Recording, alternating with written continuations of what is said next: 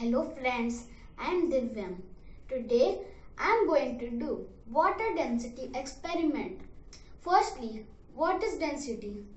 Density is the weight of the substance for its specific volume. The density changes when a substance is dissolved in it. Now let's start our experiment. For this experiment, we need two glasses filled with simple tap water, two lemons and salt. Take one lemon and put it in one of the glass. Now see what happens.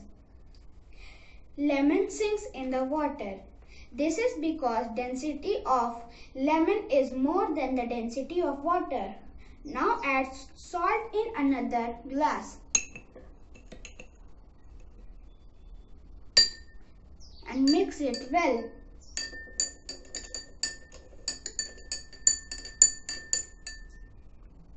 Now the salt has dissolved in the water. Now put the lemon in the glass and see what happens.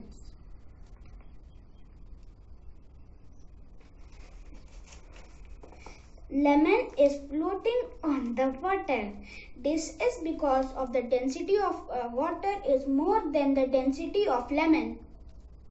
This shows that the object of heavier density sinks in the water and the objects of less density float on the water.